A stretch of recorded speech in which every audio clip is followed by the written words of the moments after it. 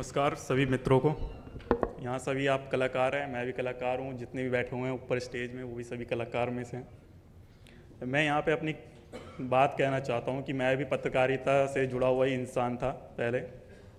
तो कहीं ना कहीं इसी कारण से मैं जो कविता लिख पाया कविताओं में मैंने रुचि बनाई और मैं, जो मैं लिखता हूँ, वो मैं आपको बताना चाहूँगा कि मेरी किताब बदलते दौर से मैं कविता पढ़ने जा रहा हूँ।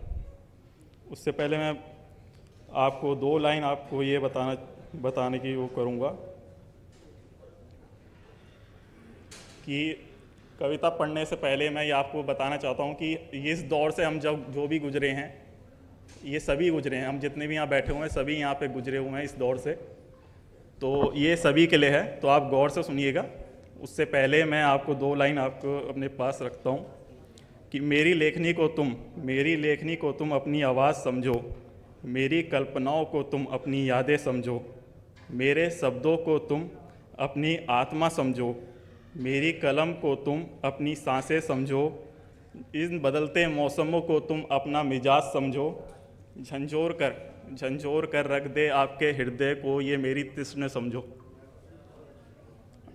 अब आपको मैं अपनी कविता सुनाने जा रहा हूँ, जिसमें आपको मैं चाहता हूँ कि आपका योगदान रहे। क्योंकि आप जो है एक फ्लैश बैक से जा करके हम दोबारा से प्रेजेंट में आएँगे और ये हम दो से तीन मिनट के अंदर ही आएँगे, क्योंकि कविता इतनी बड़ी नहीं है।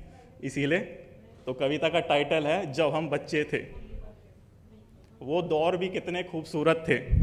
वो दौर भी कितने खूबसूरत थे, जब हम बच्चे हुआ करते थे। दिल के साफ़ सुथरे थे। दिल के साफ़ सुथरे थे, दुश्मनी की जगह सिर्फ़ कट्टी हुआ करते थे।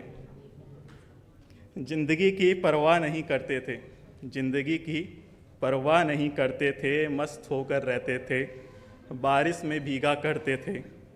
खूब खेला करते थे। दिल के भी सच्चे थे, क्योंकि हम तो बच्चे थे। ये आपको मैंने वो दौर याद दिला दिया, अब उसको छोड़ के अब हम इस दौर में आते हैं। जिसमें हम अभी जी रहे हैं, आप सभी और मैं सभी। दौर बदलने के साथ ही, दौर बदलने के साथ ही अंदर का सैलाब बिगड़ गया। दौर बदलने के साथ ही अंदर का सैलाब बिगड़ गया और देखते ही देखते, और देखते ही देखते कब ये बच्चा बड़ा हो गया। अब कट्टी की जगह, अब कट्टी की जगह दुश्मनी जगह ले गई। अब बारिश से भीगने पर ज़िंदगी बेरंग हो गई। अब बारिश से भीगने पर ज़िंदगी बेरंग हो गई। नादानी की जगह, नादानी की जगह समझने जगह बना ली। और ये कविता, और ये कविता उसी बचपन की याद दिला गई। धन्यवाद आप सभी का। समय का अभाव है, इसीलिए मैं ज़्यादा समय नहीं लेना चाह रहा। बस मैं यही बोलूँगा कि कि मैं जो हूँ, अपनी लेखनी से लोगों को लोगों के दिलों को छूने का प्रयास करता हूँ तो शायद आपके दिलों को छू पाए थोड़ा बहुत। तो इसीलिए धन्यवाद।